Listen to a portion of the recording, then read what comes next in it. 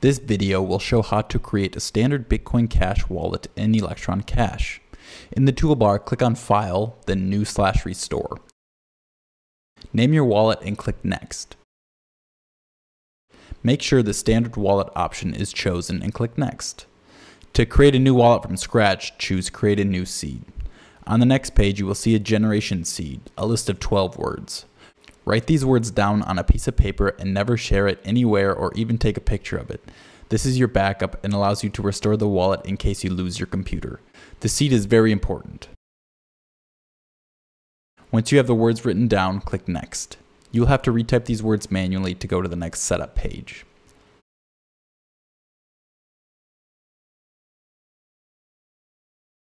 This password will be required every time you open your wallet and every time you want to send a transaction. If you lose your password, you can restore with your generation seed, that 12 word list you wrote down. If you lose this 12 word phrase and your password, you cannot recover your wallet, so keep them safe. To not encrypt your wallet, leave the fields empty and click Next. Electron Cash will now generate your Bitcoin Cash address, which you can check in the Receive tab.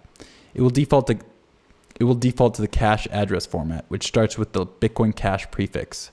You can switch the address format to legacy by clicking on the blue refresh button on the bottom right.